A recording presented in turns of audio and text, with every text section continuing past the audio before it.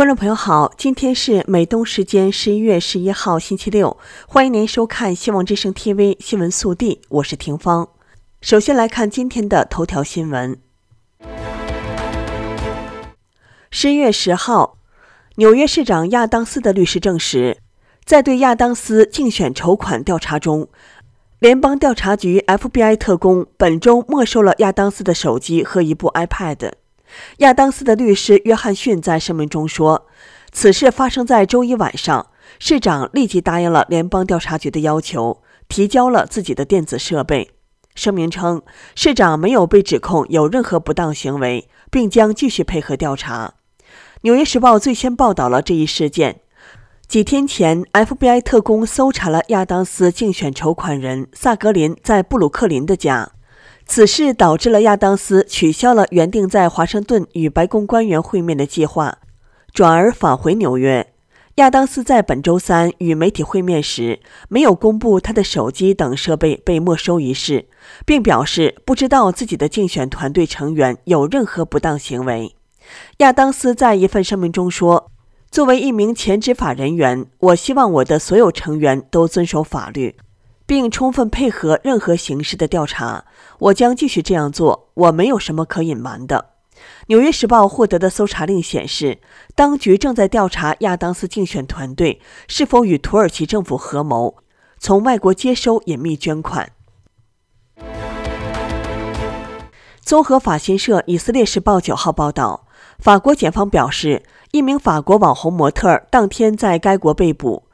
原因是他此前对哈马斯烧死一名以色列婴儿的报道表现出轻视态度。在视频中，这名叫安瓦尔的网红问道：“我想知道他们是否先加了盐和胡椒。”以色列时报称，恐怖分子确实焚烧了一些受害者，包括儿童和婴儿。法新社报道称，安瓦尔针对上述报道在当时的视频中说：“我想知道他们是否先加了盐和胡椒，是否加了百里香。”配菜又是什么？十号，法国内政部长达尔马宁表示，已对安瓦尔提起刑事诉讼。法国检方说，他因为美化恐怖主义而受到调查，并于周四在巴黎被逮捕。另一方面，以色列驻法国大使称安瓦尔的言论令人厌恶，以色列大使呼吁封锁他的社交媒体账号。法新社称，这段视频发布在安瓦尔的 Instagram 账号上。目前，安瓦尔账号已经在九号当天无法访问。此外，八号在以色列北部阿拉伯城镇纳赫夫，一名三十多岁的妇女在 WhatsApp 上发布状态后，因赞扬哈马斯煽动恐怖主义而被捕。她的原文写道：“今天早上，我很自豪，我没有被遗忘。十月七号，上帝让他们获胜，并保留他们。”随后，以色列警方找上门来，向他说明了警方的调查结果，提交了起诉书，以煽动恐怖主义对他提出控诉。法院延长了对他的羁押期限。这名妇女当场就崩溃了，哭喊着声称自己无辜。警方最终将她和她丈夫逮捕。网友们大赞警方干得漂亮，呼吁将这个女人送入加沙，过她喜欢的生活。跟他说：“你有两个选择，乖乖的蹲监狱，或者送回家沙。”不过，近日一位叫罗爱的穆斯林小伙的灵魂拷问火了，网友们为他的勇气和清醒纷纷点赞。我们一起来听听翻译的视频录音。之前呢，给大家介绍过有一位阿拉伯的穆斯林小哥啊，这是个大网红啊，这两天火呀。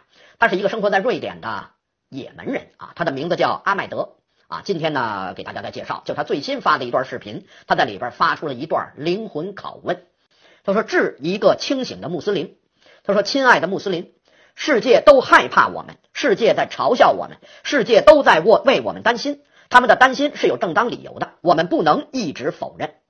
现在是我们把伊斯兰恐惧症这个词儿冲进马桶，并开始面对镜子拷问自己的时候了。我们是怎么走到今天这个地步的？”为什么世界上最大最猖獗的恐怖组织是穆斯林呢？恐怖组织为什么能够成功的利利用伊斯兰教来绑架动员数以千计的穆斯林呢？我们的那些领导人，我们的那些伊玛目和我们的宗教到底出了什么问题？为什么我们不断重复这些曾经让我们失望并继续让我们失望的石器时代留下来的这些传统呢？世界现在已经把我们抛在了后面。当我们还停留在中世纪，阅读那些有关穆罕默德和他的飞马那些故事的时候，伊玛目告诉我们要憎恨的那些异教徒，人家都已经来到了未来。你正在用你的手机、平板、平板电脑或者是电脑在阅读这篇文章，而这些都是由那些所谓的异教徒创建的。我们如此讨厌的那些异教徒，他们创造了治疗疾病的药物，而我们宗教的那个水晶球没有带来任何有效的医学。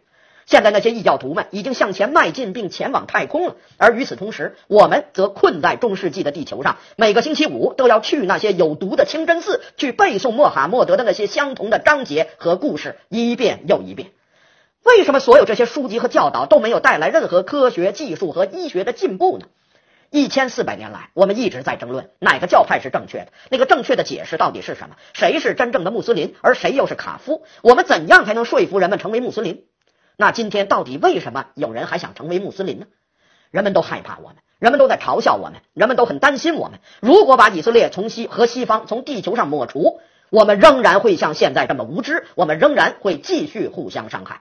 所以别再指责别人了，好好的反省一下自己。我们面对镜子，问问自己的内心，敌人并不在那里，敌人就在里面。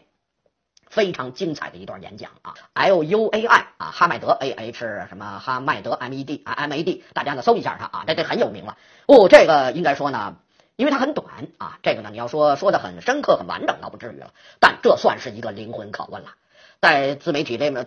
短短小精悍的这么一些短小的时间里边，能发出这么多的诛心之问，我认为是很有触动的。我认为这包括中华文明，我们自己的传统文化，包括我们自己，其实我们也应该照照镜子，来问问自己啊。九号，普京访问哈萨克斯坦出现了两件事儿：一，哈萨克斯坦总统讲话时首次没有使用俄罗斯语，这使俄罗斯两次大为震动；二。普京讲话中念错了哈萨克斯坦总统托卡耶夫的名字。当天，普京及其随行人员在哈萨克斯坦遭到羞辱。在普京对哈萨克斯坦进行正式访问期间，托卡耶夫出人意料地为俄罗斯代表团用哈萨克语发言。普京的随从们脸上都露出惊讶的表情，于是他们开始纷纷寻找播放俄语翻译的耳机。有网友说。乌克兰一战，老毛子已经失去了元气，现在硬气不起来了。如果下一次又来个特别军事行动，谁受得了？还有说打脸就要当面打。在俄罗斯越来越衰弱的情况下，哈萨克斯坦是越来越不把俄罗斯放在眼里了。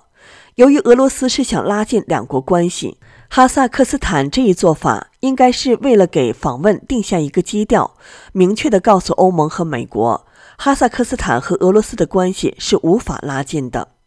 还有人说这是史诗般的。托卡耶夫向他们展示了谁才是哈萨克斯坦的领导人。他说的是独立国家的语言哈萨克语，而不是侵略者的语言俄语。他值得赞扬和钦佩。也有人认为，中亚几个斯坦当中，哈萨克斯坦是绝对的老大，无论是石油、天然气储备还是国土面积，都隐居首位。在前苏联解体后，俄罗斯实际上一直都是采取拉拢的态度来讨好哈萨克斯坦，但谁没有做老大的心愿呢？哈萨克斯坦早就想要独立，成为中亚地区的老大，摆脱俄罗斯的影响了。美国陆军退役上校、安全政策专家牛舍曼。九号在英文大纪元刊文说，中共军力虽然还不如美国，但其攻打台湾是完全可能的。美国必须做好准备。文章说，常常听说中国人民解放军是个纸老虎，因此不会攻打台湾。而且无论如何，美国有足够的时间在中共军队成为真正的威胁之前做好准备。他还不是一个迫在眉睫的竞争对手。中共军队确实有很多问题。仅举几例，很多年都没打过仗，腐败，太多的孩子兵，中共海军无法在远洋作战，并且没有两栖作战的能力，这是最复杂和艰巨的军事行动。甚至中共领导人也抱怨和平病，由于中共军队几十年都没有打过仗，太多的高级军官无法应付现代高科技战争的要求。也许是这样，但是在过去三十年中。共产中国已经取得了自第二次世界大战以来最大最快的军事发展，中共的国防预算比他声称的两千二百亿美元要大得多，可能超过了美国的国防支出。中共海军在规模上已经大过美国海军，而且差距将继续扩大。美国海军每下水一艘军舰，中共就有五艘下水，而且还将更多的吨位和导弹投向了海上。北京也一直在加强其空中和地面军力以及导弹能力，包括超音速武器，有可能已经超过了美国的能力。它的核武力量终于使中国问题专家感到担忧了。他们多年来一直不当回事。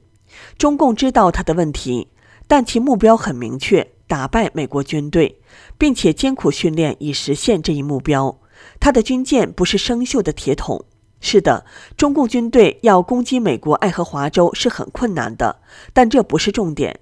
的确，在超过中国边境一千英里外，中共的常规战力迅速减弱，但是它的陆基导弹很容易射到关岛和夏威夷，而且其军舰和军机更频繁地进入太平洋及其他地区。中共正在模仿美国，在全球范围内建立一个可利用的港口和机场网络。并且正在建造更多的燃油补给船和空中加油机，以及远程运输工具，以便在全球投放军力。五到十年后，形势将不容乐观。神不知鬼不觉，纸老虎在六七年前实际上控制了南海。美国海军和空军可以经过该地区，甚至进行军演。但就像前市长朱利安尼清理糟糕的时代广场前，纽约警察来到时代广场巡逻，但当他们离开后，坏人又回来控制了广场。即使是现在，中共仍在遮掩地护送美国军舰和军机穿过南海。这些日子里，一名美国海军驱逐舰船长在南海航行时，可能遭到十几枚反舰导弹以超音速的速度攻击。他只有十二秒钟的反应时间，但是当面对中共军队时，需要记住，一支军队只需要在适当的时间、适当的地点足够好就可以了，不一定要最好。回想一九八二年的福克兰战争，英国几乎在各个方面都超过阿根廷。阿根廷的硬件大都老旧，许多军人没有战争经验，然而阿根廷几乎赢了。如果再有几枚五百磅重的炸弹和鱼雷炸沉皇家海军的军舰，他们就赢了。英国当时还幸运的是撒切尔夫人担任首相。福克兰群岛距离阿根廷海岸最近约二百英里，台湾距离中国大陆仅有九十英里。中共攻打台湾是完全可能的。对台湾的袭击不仅仅是两栖攻击，还将包括大量而精确的导弹攻击、空中和海上控制、侵略性的电子战、网络战，以切断互联网和通讯链接。第五纵队将在台湾制造混乱。中共还会通过核战争威胁美国。中共已经为此准备多年了。当然，习近平他想通过不战而屈人之兵来征服台湾。很危险的自我安慰是。认为习近平和中共还不够强大，太懦弱，或者只是虚张声势，这是华盛顿甚至台北最常见的观点。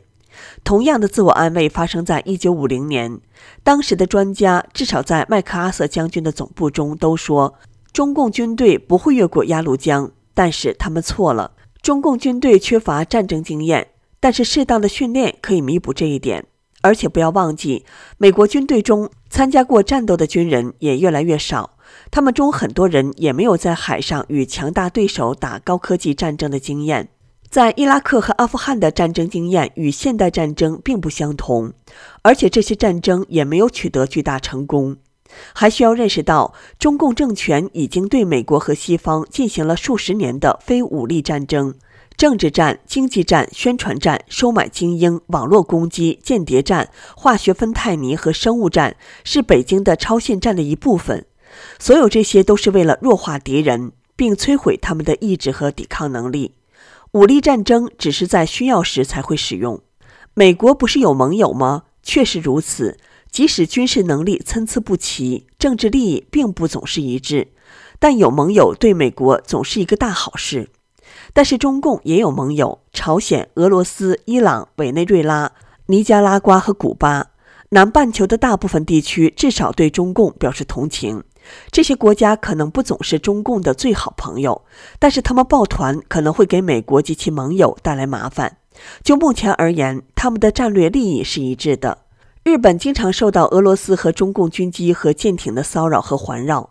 最近，中共利用伊朗及其代理人哈马斯和真主党，让美国陷入中东战事，削弱了其在印太地区的力量。中共军队还在其他地方搞事。美国没有减少对中国的经济依赖，包括国防生产所需的东西。华尔街和美国商界每年继续为中共输血几千亿美元，实际上是为中共或军方提供资金。而中共企图将美国逐出印太地区。还是要回到要点，不要低估中共或中共军队。这不是华盛顿第一次低估敌人。萨达姆侯赛因不会击垮科威特。一旦我们占领巴格达，一切都会好起来。普京会袭击乌克兰吗？他不敢。中共不想要蓝色海军，他只想做生意赚钱。但是只有习近平知道，除习近平外，没有人知道他会做什么。但我们最好为最糟糕的情况做好准备。我们的领导人必须愿意损失一些经济利益和遭受政治挫折。请记住，一支军队只需要在适当的时间、适当的地点足够好就可以了。